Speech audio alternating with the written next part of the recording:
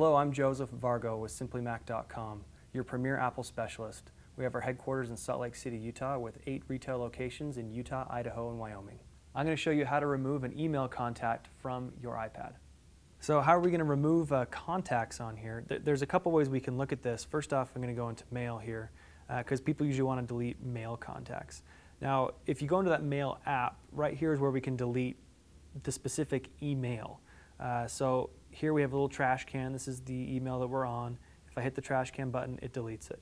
Now, if I go back out into contacts, uh, then I can delete the actual contact for that person. Um, now, the names that pull up in mail, so let's, let's go into mail again here. And we open up a new email. If I type in the word Steve, uh, I've got, uh, you know, Quinn Stevens who pops in because his last name starts with Steve.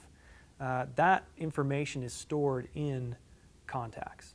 So we're going to want to delete him in contacts instead of uh, in the mail app. So here in contacts, what I can do to delete this Steve, the lawnmower guy, let's say he, he just messed my lawn up and I didn't like what he did. I'm going to hit this edit button right here.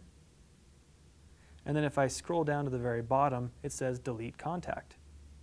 Then I'm able to just delete the contact, confirms whether I want to delete that or not, and then you're good to go. Again, I'm Joseph Vargo from SimplyMac.com, and I showed you how to remove an email contact from your iPad.